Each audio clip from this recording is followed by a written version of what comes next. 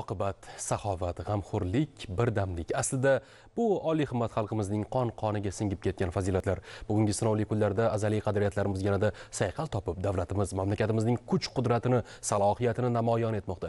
Hech bir fuqaro e'tibordan chetda emas vaqtincha ishsiz qolgan yoki yolg'iz keksalar qo'yingki ijtimoiy himoyaga muhtoj har bir inson mehr muruvvatdan bahramand bo'lmoqda. Sinovli kunlarda saxovatpesha yurtdoshlarimiz xayriya tadbirlarini ham amalga oshirmoqdalar. Ular tomonidan viloyat markazida tashkil etilgan homiylik xayriyalarini muvofiqlashtirish markaziga topshirilgan un, yog' va boshqa eng birlamchi oziq-ovqat mahsulotlari mazkur markazga murojaat etgan kam ta'minlangan ijtimoiy himoyaga muhtoj oilalarga bepul olib borib berilyapti. har bir murojaat etgan fuqarolarimizning oilaviy holati o'rganilib chiqilib ularga o'sha oziq ovqat mahsulotlari o'z vaqtida yetkazib berilmoqda viloyatda besh mingga yaqin kam ta'minlangan oilalarimiz bor.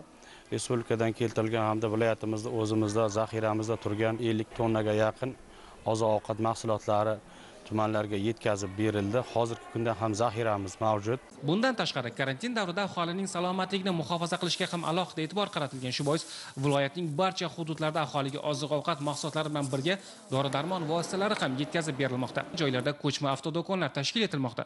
Savdo nuqtalari orqali aholiga kerakli oziq-ovqat mahsulotlari o'z vaqtida yetkazib berilyapti.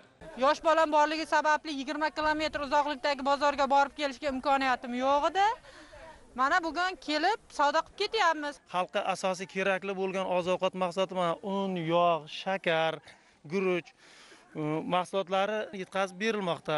Karantin davrida mana men o'zim uyda ham bo'sh o'tirganimiz yo'q.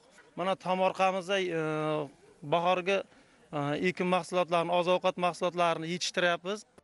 Surxondaryo viloyatida koronavirus infeksiyasi tarqalishining oldini olish maqsadida muntazam ravishda zaruriy choralar ko'rib kelinyapti.